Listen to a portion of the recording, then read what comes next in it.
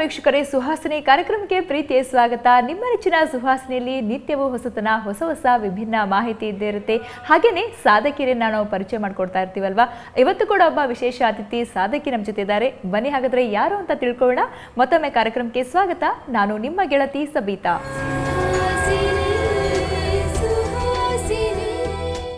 ಇವತ್ತಿನ ಸ್ಪರ್ಧಾತ್ಮಕ ಜಗತ್ತಿನಲ್ಲಿ ಪ್ರತಿಯೊಬ್ಬ ಪೇರೆಂಟ್ ಕೂಡ ತಮ್ಮ ಮಗು ಉನ್ನತ ಶ್ರೇಣಿಗೆ ಹೋಗಬೇಕು, ಒಂದು ಒಳ್ಳೆ ಉದ್ಯೋಗ ಮಾಡಬೇಕು ಎಸ್ಪೆಷಲಿ ಇಂಜಿನಿಯರು ಡಾಕ್ಟ್ರು ಆಗಬೇಕು ಅಂತ ಬಯಸ್ತಾರೆ. ಮಕ್ಕಳು ಕೂಡ ಇಂಜಿನಿಯರ್ ಆಗಬೇಕು ಅಂತ ಹಾಗೆ ಅದೇ ರೀತಿಯಲ್ಲಿ ಒಂದು ಅದೇ ಹಾದಿಲಿ ಪ್ರಯತ್ನ ಮಾಡ್ತಾನೆ ಇರ್ತಾರೆ. ಆದರೆ ಇಂಜಿನಿಯರ್ ಆಗಿ ಮುಂದೇನು ಮಾಡಬಹುದು ನನ್ನ ಸಾಮರ್ಥ್ಯ ಏನು? ನಾನೇನು ಸಾಧಿಸಬಲ್ಲೆ? ಸಮಾಜಕ್ಕೆ ಒಂದು ಒಳ್ಳೆ ಮೆಸೇಜ್ ಅಥವಾ ಒಂದು ಒಳ್ಳೆ ಕಾರ್ಯವನ್ನು ಮಾಡಬಹುದಾ? ಈ ಬಗ್ಗೆ ಯೋಚನೆ ಮಾಡೋರು ತುಂಬಾ ವಿರಳ ಅಂತಲೇ ಹೇಳ್ಬೋದು.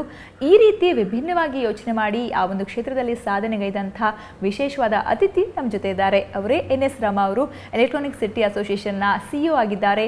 ಸದ್ಯ ನಲವತ್ತು ವರ್ಷಗಳಿಂದ ಇದೇ ಕ್ಷೇತ್ರದಲ್ಲಿ ಮುಂದುವರ್ಕೊಂಡು ಬಂದಿದ್ದಾರೆ. ಅದೇ ಆಸಕ್ತಿ ಅದೇ ಉತ್ಸಾಹ ಅವರಲ್ಲಿ ಈಗಲೂ ಇದೆ. ಬನ್ನಿ ಅವ್ರನ್ನೇ ಕೇಳೋಣ. ಅವರು ಯಾವೆಲ್ಲ ಸವಾಲುಗಳನ್ನ ಎದುರಿಸ್ಕೊಂಡು ಬಂದರು? ಒಬ್ಬ ಮಹಿಳೆಯಾಗಿರ್ಬೋದು ಅಥವಾ ಈ ಒಂದು ಉನ್ನತ ಹುದ್ದೆಗೆ ಬರಬೇಕಾದ್ರೆ ಏನೆಲ್ಲ ಸವಾಲುಗಳು ಅವರಿಗೆ ಎದುರಾದವು ಅಂತ ಅವ್ರನ್ನ ಕಾರ್ಯಕ್ರಮಕ್ಕೆ ಸ್ವಾಗತ ಕೋರೋಣ. Madam welcome to the show. ನಮಸ್ಕಾರ. ಮೊದಲದಾಗಿ ಮೇಡಮ್ ಕಂಗ್ರಾಟ್ಸ್ ಅಂತ ಹೇಳ್ತೀನಿ. ಆಮೇಲೆ ನಿಮ್ಮ ಜೊತೆ ನಾನು ಕೂತ್ಕೊಂಡು ಮಾತಾಡೋದಕ್ಕೆ ಹೆಮ್ಮೆ ಅನಿಸುತ್ತೆ. ಸೊ ಏನು ಅನಿಸುತ್ತೆ? ಇಷ್ಟು ವರ್ಷ ಈ ಫೀಲ್ಡಲ್ಲಿ ಇದ್ದಿದ್ದಕ್ಕೆ ಏನು ಅನಿಸುತ್ತೆ ನಿಮಗೆ? ತುಂಬ ಸ್ಯಾಟಿಸ್ಫೈಯಿಂಗ್ ಆಗಿದೆ. ಯಾಕಂದರೆ ನಾನು ಶುರು ಮಾಡಿದಾಗ ನಾನು ಇಷ್ಟರ ಮಟ್ಟಕ್ಕೆ ಬರಬಹುದು.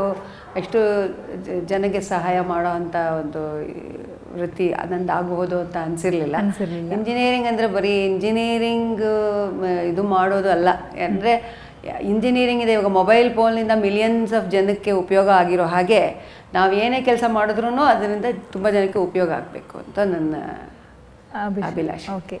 ನಿಮ್ಮ ಬಾಲ್ಯಕ್ಕೆ ಹೋಗೋದಾದ್ರೆ ನಿಮ್ಮ ಸ್ವಂತ ಊರು ಯಾವುದು? ಓದಿದ್ದೆಲ್ಲ ಹೇಗಿತ್ತು? ನಾನು ಬಾಲ್ಯ ಹೇಗಿತ್ತು ಮೈಸೂರಲ್ಲಿ ಓದಿದ್ದು. ನನಗೆ ಹಾಗೇನು ಇಂಜಿನಿಯರಿಂಗ್ ಓದಬೇಕು ಅನ್ನೋದು ನಮ್ಗೆ ಗೊತ್ತೇ ಇರಲಿಲ್ಲ. ನನಗೆ ಇಂಜಿನಿಯರಿಂಗ್ ಅನ್ನೋದು. ಯಾಕೆಂದರೆ ನಮ್ಮ ಅವಾಗಿನ ಇನ್ಫಾರ್ಮೇಷನ್ ಫ್ಲೋ ಭಾಳ ಇರಲೇ ಇಲ್ವಲ್ಲ? ಇಂಟರ್ನೆಟ್ ಇರಲಿಲ್ಲ ಗೂಗಲ್ ಇರಲಿಲ್ಲ ಏನಿರಲಿಲ್ಲ.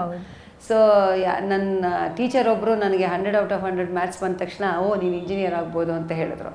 ಅದನ್ನೇ ಒಂದು ಮಾತು ಮನಸ್ಸಲ್ಲಿ ಇಟ್ಕೊಂಡ್ಬಿಟ್ಟು ಇಂಜಿನಿಯರಿಂಗ್ ಕಾಲೇಜಿಗೆ ಅಪ್ಲೈ ಮಾಡಿದೆ. ಆವಾಗ ನನಗೆ ಇಂಟರ್ವ್ಯೂ ಬೋರ್ಡಲ್ಲಿರೋರು ನಗಾಡಿದ್ರು ಏನಮ್ಮ ನೀ ಕ್ರಿಕೆಟ್ ಓದ್ತೀಯಾ? ಅಯ್ಯೋ ಕ್ರಿಕೆಟ್ ಆಡ್ತೀಯಾ? ಬಾಯ್ಸ್ ಜೊತೆ ಹೆಂಗೆ ನೀ ಡೀಲ್ ಮಾಡ್ತೀಯಾ? ಹಂಗೆ ಹೆಂಗೆ ಅಂತ ಅವಾಗೆಲ್ಲ ಯಾರೂ ಹೋಗ್ತಾ ಇರಲಿಲ್ವಲ್ಲ? ಸೊ ಆಗ ಅದೊಂದು ನಾವೆಲ್ಟಿ ಸೊ ಎಲ್ಲ ಸುತ್ತಮುತ್ತಿರೋರೆಲ್ಲ ನೀ ಯಾ ಏನು? ಇಂಜಿನಿಯರ್ ಆಗಬೇಕಾ? ಹುಡುಗಿರು ಯಾಕೆ ಇಂಜಿನಿಯರ್ ಓದಬೇಕು? Even my mother also didn't okay ಅವರು ಒಪ್ಪಲಿಲ್ಲ ಫಸ್ಟ್ಗೆ ಏನು ಅನಿಸ್ತಾ ಇತ್ತು ನಿಮಗೆಲ್ಲ? ಅವ್ರು ಆ ಥರ ನಿಮಗೆ ಹೇಳ್ತಾ ಇದ್ರಲ್ಲ ಏನಮ್ಮ ಕ್ರಿಕೆಟ್ ಆಡ್ತೀಯಾ? ಅಥವಾ ಇಂಜಿನಿಯರಿಂಗ್ ಹೋಗ್ತಿದ್ಯಾ? ಈ ಫೀಲ್ಡ್ ನಿಂಗೆ ಸರಿ ಇರುತ್ತಾ ಅಂತ ಅಂದಾಗ ನಿಮ್ಗೆ ಏನು ಅನಿಸ್ತು? ಸ್ವಲ್ಪ ಏನಾದ್ರು ಭಯ ಅನಿಸ್ತಾ? ಅಥವಾ ಇಲ್ಲ ನಾನು ಇದು ಡಿಫ್ರೆಂಟ್ ಆಗಿದೆ ಓದೋಣ ಅಂತ ಅನಿಸ್ತಾ? ಇಲ್ಲ ನನಗೊಂಥರ ಮೊದಲಿಂದನೂ ನನಗೇನಾದರೂ ಒಂದು ಸ್ವಲ್ಪ ಮಾಡಬೇಕು ಅಂತಿದ್ರೆ ಅದು ಹೇಗಾದರೂ ಕಷ್ಟಪಟ್ಟಾದರೂ ಮಾಡಲೇಬೇಕು ಅನ್ನೋ ಒಂದು ಛಲದ ಸ್ವಭಾವ. ಅಂದರೆ ಒಂದು ಯಾವುದೋ ಒಂದು ಹಿಡಿದ ಕೆಲಸನ ಪೂರ್ತಿಯಾಗಿ ಮುಗಿಸ್ದೆ ನಾನು ಬಿಡೋದಿಲ್ಲ ಬಿಡ್ತಾ ಇರಲಿಲ್ಲ. ಅದರಿಂದ ಇದನ್ನ ನಾನು ಶು ತಲೆಯಲ್ಲಿ ಬಂದ್ಬಿಟ್ಟಿದ್ದಲ್ಲ ಇಂಜಿನಿಯರಿಂಗ್ ಓದಬೇಕು ಅಂತ. ಶುರು ಮಾಡಿದ್ಮೇಲೆ ನಮ್ಮ ತಾಯಿಗೆ ಅಷ್ಟು ಇಷ್ಟ ಇಲ್ಲದೆ ಇದ್ರೂ ನಾನು ಕಂಟಿನ್ಯೂ ಮಾಡಿದೆ. ಓದೋದಲ್ದೇನೆ ಎಕ್ಸ್ಟ್ರಾ ಕರಿಕುಲಮ್ ಅನ್ನೋದಾದರೆ ಅಂದರೆ ನಿಮ್ಮ ಹವ್ಯಾಸ ಇರ್ಬೋದು ಬೇರೆ ಇಂಟ್ರೆಸ್ಟ್ ಅನ್ನೋದಾದರೆ ಏನಿತ್ತು ನಿಮಗೆ? ಓದೋದಕ್ಕೂ ತುಂಬ ಸಮಯ ಖರ್ಚು ಮಾಡಬೇಕಾಗಿತ್ತು. ಯಾಕೆಂದರೆ ನಮಗೆ ಇವು ನಾವು ಈ ಥರ ಕಮ್ಮಿ ಒಬ್ಬರು ಇಬ್ಬರು ಹುಡುಗಿರಿದ್ದೀರಲ್ಲ ನಾವು ಅವ್ರಿಗಿಂತನೂ ಚೆನ್ನಾಗಿ ಓದಬೇಕು.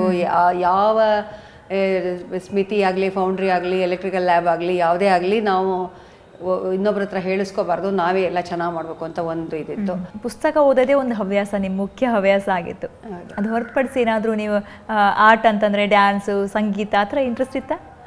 ನನಗೆ ಇದು ಪೆನ್ಸಿಲ್ ಸ್ಕೆಚ್ ಮಾಡೋದು ಆಮೇಲೆ ಇದು ಡ್ರಾಮಾಸು ಬರೆಯೋದು. ದಟ್ ಒಂಥರ ಈ ಮಿಥಲಾಜಿಕಲ್ ಡ್ರಾಮಾಸ್ನಲ್ಲಿ ಒಂದು ಒಂದೇನೋ ಒಂದು ಈ ಸೀಕ್ವೆನ್ಸ್ ತೊಗೊಂಡು ಅದನ್ನು ಬರೆದು ಅದನ್ನು ಡ್ರಾಮಾ ಮಾಡಿಸೋದನ್ನು ಆ್ಯಕ್ಟು ಮಾಡ್ತಾಯಿದ್ದೆ ಅದೆಲ್ಲ ಒಂದು ಹೈಸ್ಕೂಲ್ ಲೆವೆಲಲ್ಲೇ ಅದೆಲ್ಲ ಇತ್ತು. ಕಾಲೇಜಿಗೆ ಬಂದ್ಮೇಲೆ ಏನಾಗೋಯ್ತು?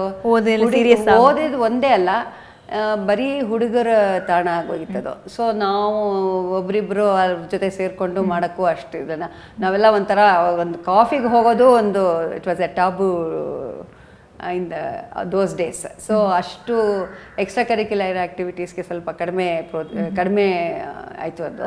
ಅಮ್ಮ ಬೇಡ ಬೇಡ ಅಂತ ಇದ್ರು. ಸೊ ಅಂದ್ರೆ ನಿಮ್ಗೆಲ್ಲಾದರೂ ಈಗ ಪ್ರಾಕ್ಟಿಕಲ್ ಇರ್ಬೋದು. ಅಂದ್ರೆ ಇದ್ದ ಇದ್ದ ಊರಲ್ಲೇ ಕಳಿಸೋದು ಆಗಲಿ ಅಥವಾ ಬೇರೆ ಊರಿಗೆ ಹೆಣ್ಮಗು ಅನ್ನೋದೊಂದು ಆಗಿನ ಕಾಲದಲ್ಲಿ ತುಂಬಾ ಹೊರಗಡೆ ಕಳ್ಸೋಕ್ಕೆ ಭಯ ಪಡ್ತಾ ಇದ್ರು. ಏನಂದ್ರೆ ನಾನು ಇದಕ್ಕೆ ನಮ್ಮ ನಾನು ಒಂದ್ಸತಿ ಇದಕ್ಕೆ ಹೋಗಬೇಕಾಗಿತ್ತು. ಬೇರೆ ಊರಿಗೆ ಇದು ಟ್ರಿಪ್ಗೆಲ್ಲ ಹೋಗ್ತಾರಲ್ಲ. ಹೌದು. ಆವಾಗ ಭಾಳ ಭಯದಿಂದನೇ ಕಳಿಸಿದ್ರು. ಬಟ್ ಆದರೆ ಎಲ್ಲ ಸೌತ್ ಇಂಡಿಯಾ ಫುಲ್ ಟ್ರಿಪ್ಪು ನೋಡಿಕೊಂಡು ಬಂದ್ವಿ. ಆವಾಗ ಪರವಾಗಿಲ್ಲ ಆದರೆ ಕೆಲಸಕ್ಕೆ ಸೇರ್ಕೊಂಡ ಮೇಲೆ ಕೆಲಸಕ್ಕೆ ಸೇರ್ಕೊಳ್ಳೋವಾಗ ಅಯ್ಯೋ ಬಾಂಬೆ ಮೆಡ್ರಾಸು ಡೆಲ್ಲಿ ಅದೆಲ್ಲ ಬೇಡ. ಬೆಂಗಳೂರು ಮೈಸೂರಲ್ಲೇ ತಗೊಳ್ಳಿ ಅಂದರು. ಆಮೇಲೆ ಮೈ ಬೆಂಗಳೂರಲ್ಲಿ ಕೆಲಸ ಸಿಕ್ತು. ಆಮೇಲೆ ಇನ್ನು ಕೆಲಸ ಸಿಕ್ಕಿದ ಮೇಲೆ ಒಂದ್ಸಲಿ ನಾನು ಇದಕ್ಕೆ ಹೋಗಬೇಕಾಗಿತ್ತು.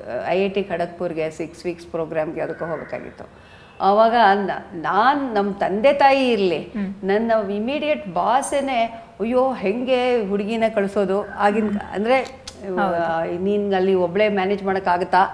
ಆ ಥರ ಎಲ್ಲ ಎಷ್ಟು ಸೇಫ್ ಎಷ್ಟು ಸೇಫ್ ಒಬ್ಳನ್ನೇ ಕಳಿಸ್ಬೇಕಲ್ಲ. ಅವಾಗ ಅವಾಗೇನು ಏರೋಪ್ಲೇನಲ್ಲಿ ಕಳಿಸ್ತಾ ಇರ್ಲಿಲ್ಲ ನಾವೆಲ್ಲ ತುಂಬಾ ಚಿಕ್ಕ ಜೂನಿಯರ್ಸ್ ಅಲ್ಲ. ನಮ್ಮ ಏರ್ ಟ್ರೈನಲ್ಲಿ ಕಳಿಸ್ತಾ ಇದ್ರು.